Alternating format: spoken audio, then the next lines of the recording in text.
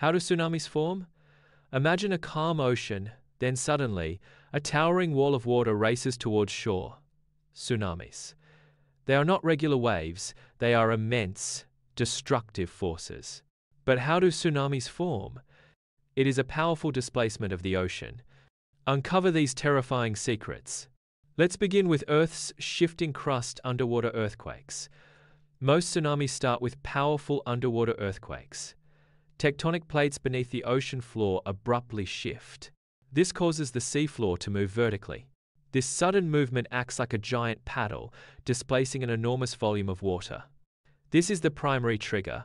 When the seafloor moves water displacement, unlike regular waves, a tsunami involves the entire water column.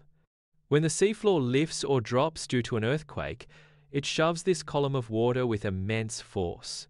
This creates a series of powerful waves that can travel across entire ocean basins. Here comes the journey across the open ocean. In the deep, open ocean, a tsunami travels incredibly fast, sometimes over 500 miles per hour. Yet, wave height might be only a few feet, undetectable to ships. Energy spreads through the entire water column, not just the surface. Time to rise up approaching the coast. As a tsunami nears shallower coastal waters, its front slows. The back catches up. This compresses the tsunami's energy. The wave dramatically increases in height, forming a towering wall of water that crashes onto shore with devastating force. What follows multiple waves? A tsunami is not one wave.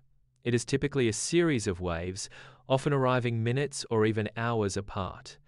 The first wave might not be the largest. So, how do tsunamis form? They are born from sudden underwater earthquakes displacing ocean water.